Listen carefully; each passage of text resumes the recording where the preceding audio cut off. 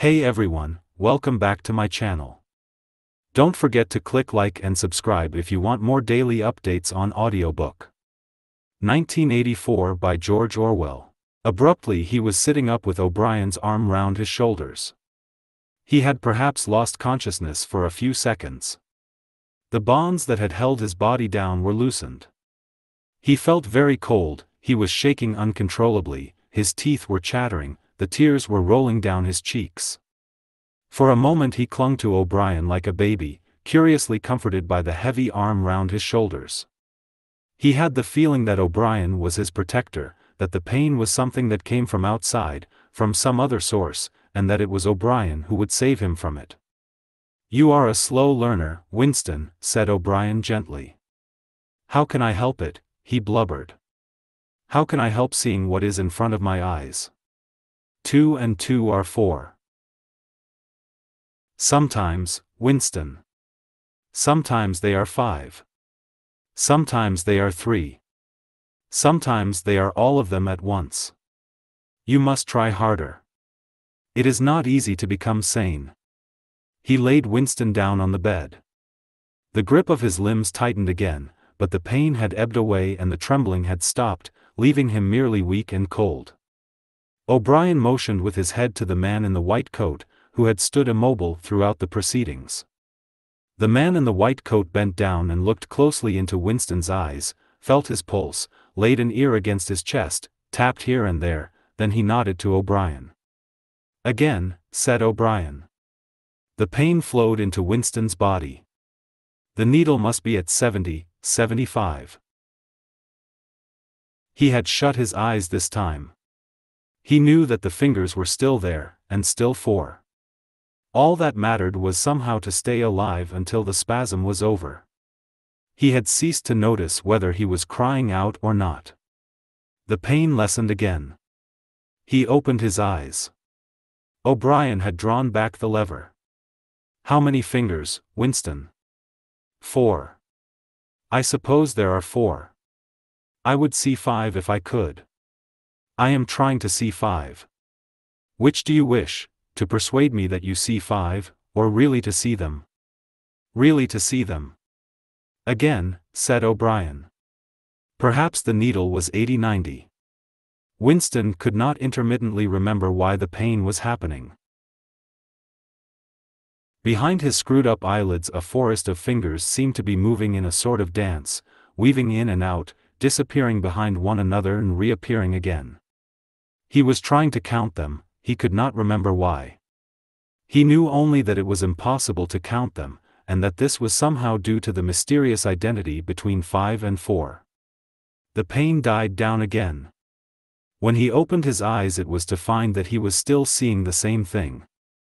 Innumerable fingers, like moving trees, were still streaming past in either direction, crossing and recrossing. He shut his eyes again. How many fingers am I holding up, Winston? I don't know. I don't know. You will kill me if you do that again. Four, five, six in all honesty I don't know. Better, said O'Brien. A needle slid into Winston's arm. Almost in the same instant a blissful, healing warmth spread all through his body. The pain was already half forgotten. He opened his eyes and looked up gratefully at O'Brien. At sight of the heavy, lined face, so ugly and so intelligent, his heart seemed to turn over. If he could have moved he would have stretched out a hand and laid it on O'Brien's arm. He had never loved him so deeply as at this moment, and not merely because he had stopped the pain. The old feeling, that at bottom it did not matter whether O'Brien was a friend or an enemy, had come back. O'Brien was a person who could be talked to. Perhaps one did not want to be loved so much as to be understood. O'Brien had tortured him to the edge of lunacy, and in a little while, it was certain, he would send him to his death. It made no difference. In some sense that went deeper than friendship, they were intimates, somewhere or other, although the actual words might never be spoken, there was a place where they could meet and talk. O'Brien was looking down at him with an expression which suggested that the same thought might be in his own mind. When he spoke it was in an easy, conversational tone. Do you know where you are, Winston? he said. I don't know. I can guess. In the ministry of love. Do you know how long you have been here? I don't know. Days, weeks, months, I think it is months. And why do you imagine that we bring people to this place? To make them confess. No, that is not the reason. Try again. To punish them. No, exclaimed O'Brien. His voice had changed extraordinarily, and his face had suddenly become both stern and animated. No. Not merely to extract your confession, not to punish you. Shall I tell you why we have brought you here? To cure you. To make you sane. Will you understand, Winston, that no one whom we bring to this place ever leaves our hands uncured? We are not interested in those stupid crimes that you have committed. The party is not interested in the overt act, the thought is all we care about. We do not merely destroy our enemies, we change them. Do you understand what I mean by that? He was bending over Winston. His face looked enormous because of its nearness, and hideously ugly because it was seen from below. Moreover, it was filled with a sort of exaltation, a lunatic intensity. Again Winston's heart shrank. If it had been possible he would have cowered deeper into the bed. He felt certain that O'Brien was about to twist the dial out of sheer wantonness. At this moment, however, O'Brien turned away. He took a pace or two up and down. Then he continued less vehemently, the first thing for you to understand is that in this place there are no martyrdoms. You have read of the religious persecutions of the past. In the Middle Ages there was the Inquisition. It was a failure. It set out to eradicate heresy, and ended by perpetuating it. For every heretic it burned at the stake, thousands of others rose up. Why was that? Because the Inquisition killed its enemies in the open, and killed them while they were still unrepentant, in fact, it killed them because they were unrepentant. Men were dying because they would not abandon their true beliefs. Naturally, all the glory belonged to the victim and all the shame to the inquisitor who burned him. Later, in the 20th century, there were the totalitarians, as they were called. There were the German Nazis and the Russian communists. The Russians persecuted heresy more cruelly than the Inquisition had done. And they imagined that they had learned from the mistakes of the past, they knew, at any rate, that one must not make martyrs. Before they exposed their victims to public trial, they deliberately set themselves to destroy their dignity. They wore them down by torture and solitude until they were despicable, cringing wretches, confessing whatever was put into their mouths, covering themselves with abuse, accusing and sheltering behind one another, whimpering for mercy. And yet after only a few years the same thing had happened over again. The dead men had become martyrs and their degradation was forgotten. Once again, why was it? In the first place, because the confessions that they had made were obviously extorted and untrue. We do not make mistakes of that kind. All the confessions that are uttered here are true. We make them true. And above all, we do not allow the dead to rise up against us. You must stop imagining that posterity will vindicate you, Winston. Posterity will never hear of you. You will be lifted clean out from the stream of history. We shall turn you into gas and pour you into the stratosphere. Nothing will remain of you, not a name in a register, not a memory in a living brain. You will be annihilated in the past as well as the future. You will never have existed. Then why bother to torture me? thought Winston with a momentary bitterness. O'Brien checked his step as though Winston had uttered the thought aloud.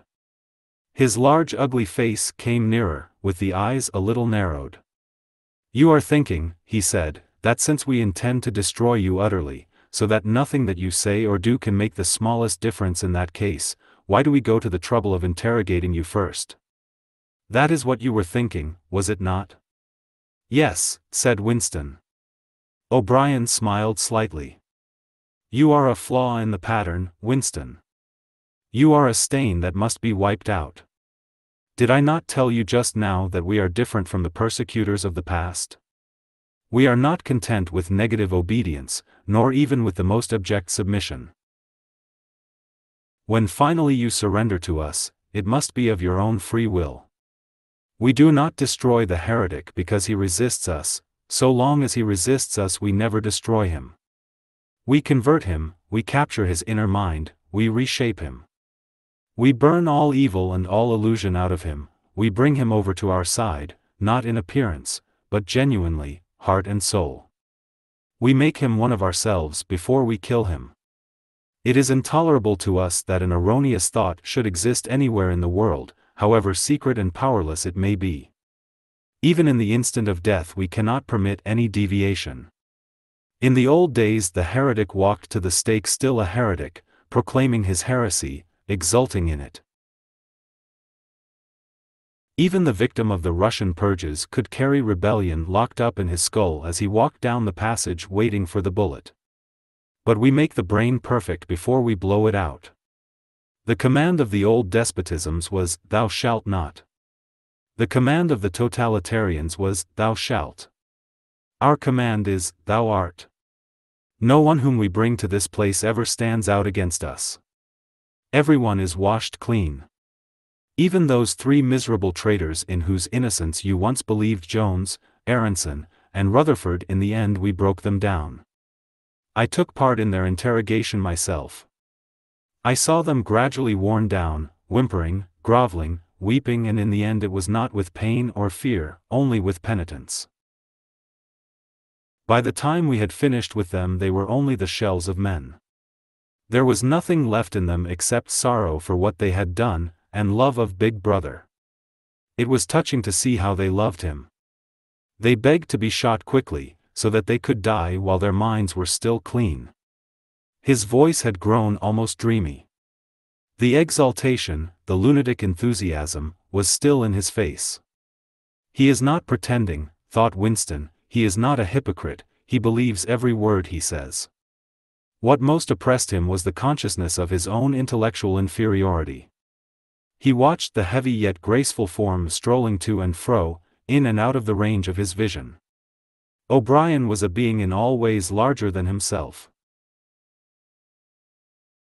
There was no idea that he had ever had, or could have, that O'Brien had not long ago known, examined, and rejected. His mind contained Winston's mind. But in that case how could it be true that O'Brien was mad? It must be he, Winston, who was mad. O'Brien halted and looked down at him. His voice had grown stern again. Do not imagine that you will save yourself, Winston, however completely you surrender to us. No one who has once gone astray is ever spared. And even if we chose to let you live out the natural term of your life, still you would never escape from us. What happens to you here is forever.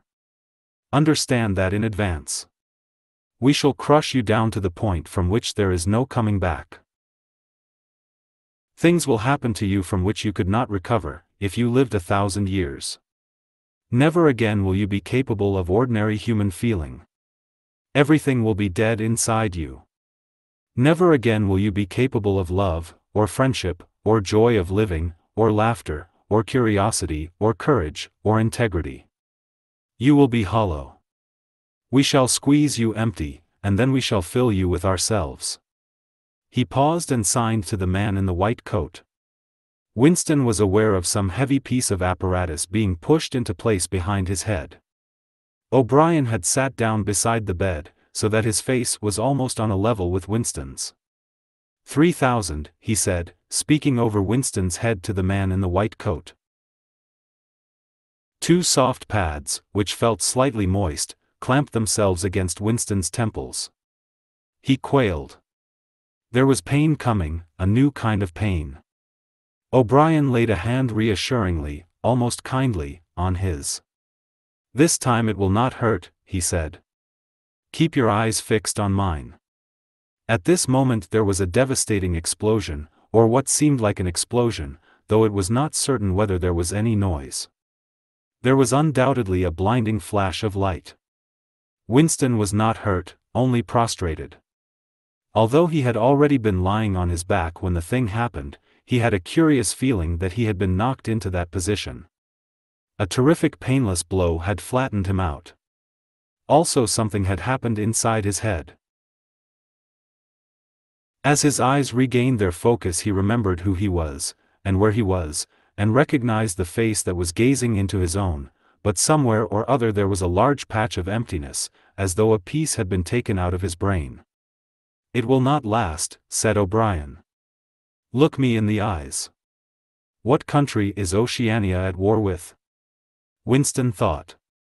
He knew what was meant by Oceania and that he himself was a citizen of Oceania. He also remembered Eurasia and Eastasia, but who was at war with whom he did not know. In fact he had not been aware that there was any war. I don't remember. Oceania is at war with Eastasia. Do you remember that now? Yes. Oceania has always been at war with Eastasia. Since the beginning of your life, since the beginning of the party, since the beginning of history, the war has continued without a break, always the same war. Do you remember that? Yes. Eleven years ago you created a legend about three men who had been condemned to death for treachery. You pretended that you had seen a piece of paper which proved them innocent. No such piece of paper ever existed. You invented it, and later you grew to believe in it. You remember now the very moment at which you first invented it. Do you remember that? Yes. Just now I held up the fingers of my hand to you. You saw five fingers. Do you remember that? Yes. O'Brien held up the fingers of his left hand, with the thumb concealed. There are five fingers there. Do you see five fingers? Yes. And he did see them, for a fleeting instant, before the scenery of his mind changed. He saw five fingers, and there was no deformity. Then everything was normal again, and the old fear, the hatred, and the bewilderment came crowding back again. But there had been a moment he did not know how long, thirty seconds, perhaps of luminous certainty, when each new suggestion of O'Brien's had filled up a patch of emptiness and become absolute truth, and when two and two could have been three as easily as five, if that were what was needed. It had faded but before O'Brien had dropped his hand, but though he could not recapture it, he could remember it, as one remembers a vivid experience at some period of one's life when one was in effect a different person. You see now, said O'Brien, that it is at any rate possible. Yes, said Winston. O'Brien stood up with a satisfied air. Over to his left Winston saw the man in the white coat break an ampoule and draw back the plunger of a syringe. O'Brien turned to Winston with a smile. In almost the old manner he resettled his spectacles on his nose. Do you remember writing in your diary, he said, that it did not matter whether I was a friend or an enemy, since I was at least a person who understood you and could be talked to? You were right. I enjoy talking to you. Your mind appeals to me. It resembles my own mind except that you happen to be insane. Before we bring the session to an end you can ask me a few questions, if you choose. Any question I like? Anything. He saw that Winston's eyes were upon the dial. It is switched off. What is your first question? What have you done with Julia? said Winston. O'Brien smiled again. She betrayed you, Winston. Immediately unreservedly. I have seldom seen anyone come over to us so promptly. You would hardly recognize her if you saw her. All her rebelliousness, her deceit, her folly, her dirty-mindedness everything has been burned out of her. It was a perfect conversion, a textbook case. You tortured her? O'Brien left this unanswered. Next question, he said. Does Big Brother exist? Of course he exists. The party exists. Big Brother is the embodiment of the party. Does he exist in the same way as I exist? You do not exist, said O'Brien. Once again the sense of helplessness assailed him. He knew, or he could imagine, the arguments which proved his own non-existence, but they were nonsense, they were only a play on words. Did not the statement, you do not exist, contain a logical absurdity? But what use was it to say so? His mind shriveled as he thought of the unanswerable, mad arguments with which O'Brien would demolish him. I think I exist, he said wearily. I am conscious of my own identity. I was born and I shall die. I have arms and legs. I occupy a particular point in space. No other solid object can occupy the same point simultaneously. In that sense, does Big Brother exist? It is of no importance. He exists. Will Big Brother ever die? Of course not. How could he die? Next question. Does the Brotherhood exist? That, Winston, you will never know. If we choose to set you free when we have finished with you, and if you live to be 90 years old, still you will never learn whether the answer to that question is yes or no. As long as you live, it will be an unsolved riddle in your mind. Winston lay silent. His breast rose and fell a little faster. He still had not asked the question that had come into his mind the first.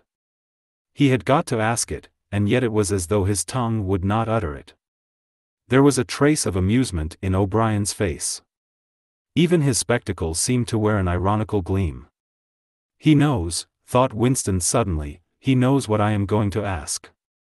At the thought the words burst out of him, what is in room 101? The expression on O'Brien's face did not change. He answered drily, you know what is in room 101, Winston. Everyone knows what is in room 101. He raised a finger to the man in the white coat. Evidently the session was at an end. A needle jerked into Winston's arm. He sank almost instantly into deep sleep. There are three stages in your reintegration, said O'Brien. There is learning, there is understanding, and there is acceptance. It is time for you to enter upon the second stage. As always, Winston was lying flat on his back. But of late his bonds were looser. They still held him to the bed, but he could move his knees a little and could turn his head from side to side and raise his arms from the elbow. The dial, also, had grown to be less of a terror. He could evade its pangs if he was quick-witted enough, it was chiefly when he showed stupidity that O'Brien pulled the lever. Sometimes they got through a whole session without use of the dial. He could not remember how many sessions there had been. The whole process seemed to stretch out over a long, indefinite time weeks, possibly and the intervals between the sessions might sometimes have been days, sometimes only an hour or two. As you lie there, said O'Brien, you have often wondered you have even asked me why the ministry of love should expend so much time and trouble on you. And when you were free you were puzzled by what was essentially the same question. You could grasp the mechanics of the society you lived in, but not its underlying motives. Do you remember writing in your diary, I understand how, I do not understand why? It was when you thought about why that you doubted your own sanity. You have read the book, Goldstein's book, or parts of it, at least. Did it tell you anything that you did not know already? You have read it, said Winston. I wrote it. That is to say, I collaborated in writing it. No book is produced individually, as you know. Is it true, what it says? A description, yes. The program it sets forth is nonsense. The secret accumulation of knowledge, a gradual spread of enlightenment, ultimately a proletarian rebellion, the overthrow of the party. You foresaw yourself that that was what it would say. It is all nonsense. The proletarians will never revolt, not in a thousand years or a million. They cannot. I do not have to tell you the reason, you know it already. If you have ever cherished any dreams of violent insurrection, you must abandon them. There is no way in which the party can be overthrown. The rule of the party is forever. Make that the starting point of your thoughts. He came closer to the bed. Forever, he repeated. And now let us get back to the question of how and why. You understand well enough how the party maintains itself in power. Now tell me why we cling to power. What is our motive? Why should we want power? Go on, speak, he added as Winston remained silent. Nevertheless, Winston did not speak for another moment or two. A feeling of weariness had overwhelmed him. The faint, mad gleam of enthusiasm had come back into O'Brien's face. He knew in advance what O'Brien would say. That the party did not seek power for its own ends, but only for the good of the majority. That it sought power because men in the mass were frail cowardly creatures who could not endure liberty or face the truth, and must be ruled over and systematically deceived by others who were stronger than themselves that the choice for mankind lay between freedom and happiness, and that, for the great bulk of mankind, happiness was better. That the party was the eternal guardian of the weak, a dedicated sect doing evil that good might come, sacrificing its own happiness to that of others. The terrible thing, thought Winston, the terrible thing was that when O'Brien said this he would believe it. You could see it in his face. O'Brien knew everything. A thousand times better than Winston he knew what the world was really like, in what degradation the mass of human beings lived and by what lies and barbarities the party kept them there. He had understood it all, weighed it all, and it made no difference, all was justified by the ultimate purpose. What can you do, thought Winston, against the lunatic who is more intelligent than yourself, who gives your arguments a fair hearing and then simply persists in his lunacy? You are ruling over us for our own good, he said feebly. You believe that human beings are not fit to govern themselves, and therefore, he started and almost cried out. A pang of pain had shot through his body. O'Brien had pushed the lever of the dial up to 35. That was stupid, Winston, stupid, he said. You should know better than to say a thing like that. He pulled the lever back and continued, now I will tell you the answer to my question. It is this. The party seeks power entirely for its own sake. We are not interested in the good of others, we are interested solely in power.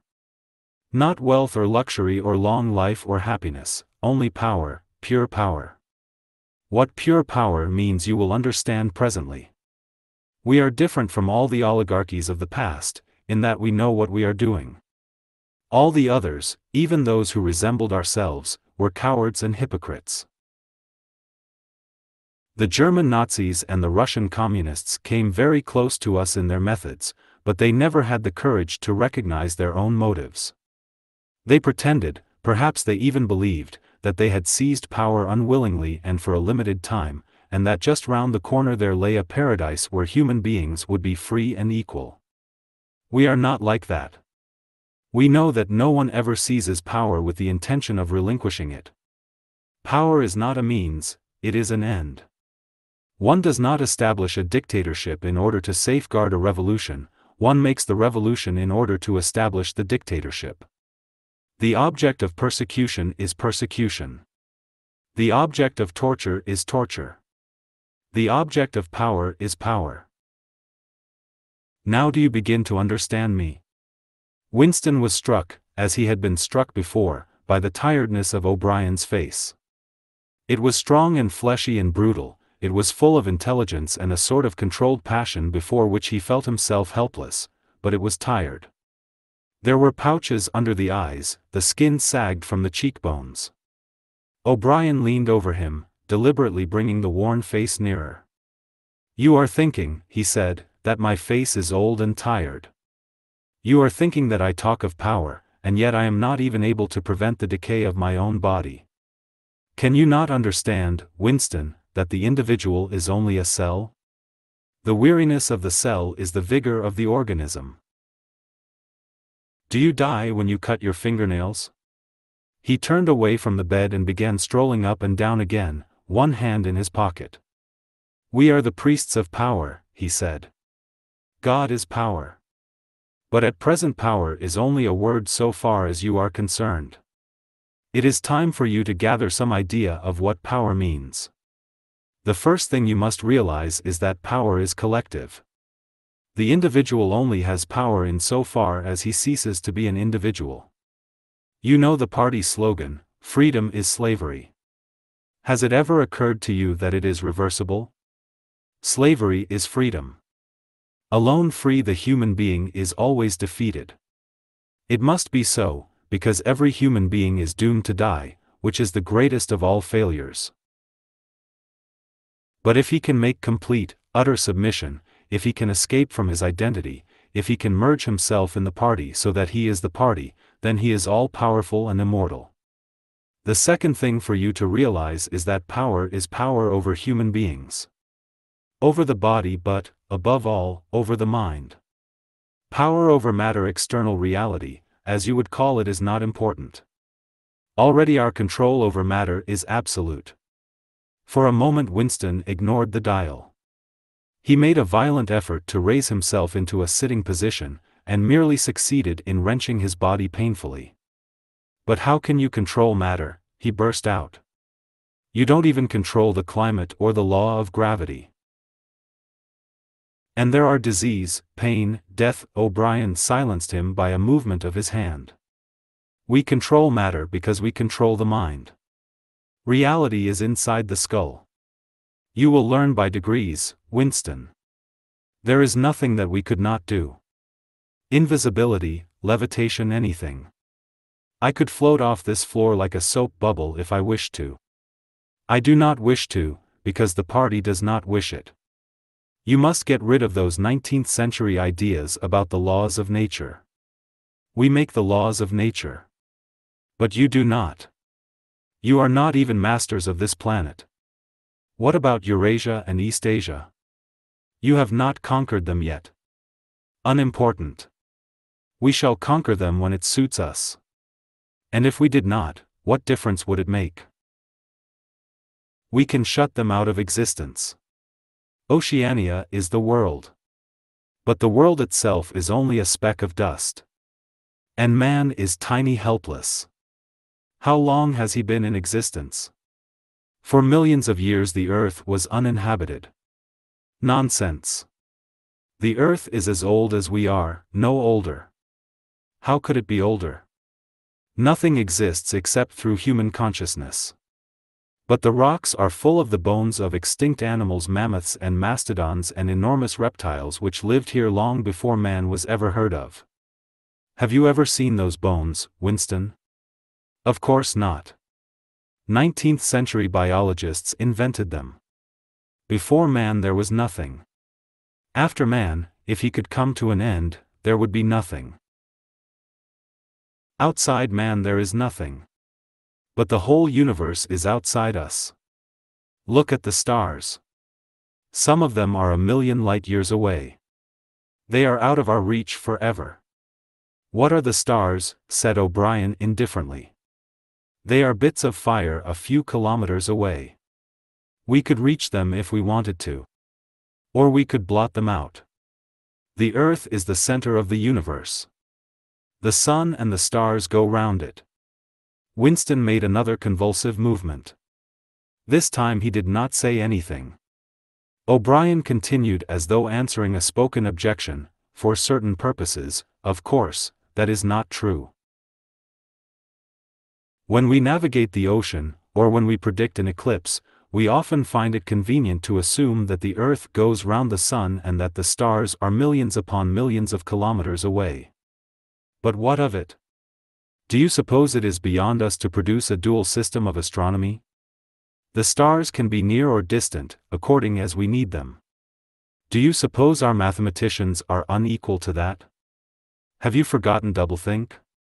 Winston shrank back upon the bed. Whatever he said, the swift answer crushed him like a bludgeon. And yet he knew, he knew, that he was in the right. The belief that nothing exists outside your own mind surely there must be some way of demonstrating that it was false? Had it not been exposed long ago as a fallacy? There was even a name for it, which he had forgotten. A faint smile twitched the corners of O'Brien's mouth as he looked down at him. I told you, Winston, he said, that metaphysics is not your strong point. The word you are trying to think of is solipsism. But you are mistaken. This is not solipsism. Collective solipsism, if you like.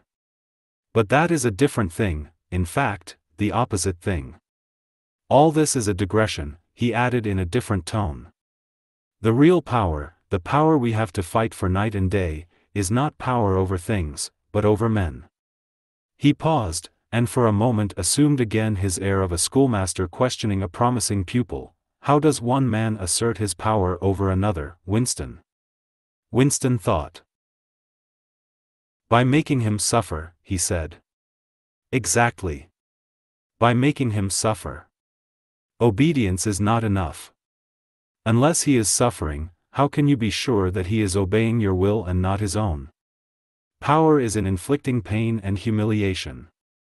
Power is in tearing human minds to pieces and putting them together again in new shapes of your own choosing. Do you begin to see, then, what kind of world we are creating? It is the exact opposite of the stupid hedonistic utopias that the old reformers imagined.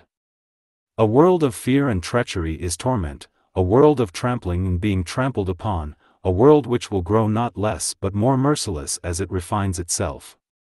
Progress in our world will be progress towards more pain. The old civilizations claim that they were founded on love or justice. Ours is founded upon hatred. In our world there will be no emotions except fear, rage, triumph, and self abasement. Everything else we shall destroy everything. Already we are breaking down the habits of thought which have survived from before the revolution. We have cut the links between child and parent, and between man and man, and between man and woman. No one dares trust a wife or a child or a friend any longer. But in the future there will be no wives and no friends. Children will be taken from their mothers at birth, as one takes eggs from a hen the sex instinct will be eradicated. Procreation will be an annual formality like the renewal of a ration card. We shall abolish the orgasm. Our neurologists are at work upon it now. There will be no loyalty, except loyalty towards the party. There will be no love, except the love of Big Brother. There will be no laughter, except the laugh of triumph over a defeated enemy. There will be no art, no literature, no science. When we are omnipotent, we shall have no more need of science. There will be no distinction between beauty and ugliness. There will be no curiosity, no enjoyment of the process of life. All competing pleasures will be destroyed. But always do not forget this, Winston always there will be the intoxication of power, constantly increasing and constantly growing subtler. Always, at every moment, there will be the thrill of victory, the sensation of trampling on an enemy who is helpless. If you want a picture of the future, imagine a boot stamping on a human face forever. He paused as though he expected Winston to speak. Winston had tried to shrink back into the surface of the bed again. He could not say anything.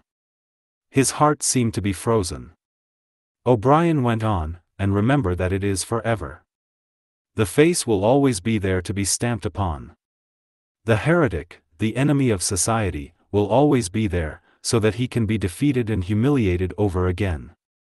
Everything that you have undergone since you have been in our hands, all that will continue, and worse. The espionage, the betrayals, the arrests, the tortures, the executions, the disappearances will never cease. It will be a world of terror as much as a world of triumph. The more the party is powerful, the less it will be tolerant, the weaker the opposition, the tighter the despotism. Goldstein and his heresies will live forever. Every day, at every moment, they will be defeated, discredited, ridiculed, spat upon and yet they will always survive. This drama that I have played out with you during seven years will be played out over and over again generation after generation, always in subtler forms.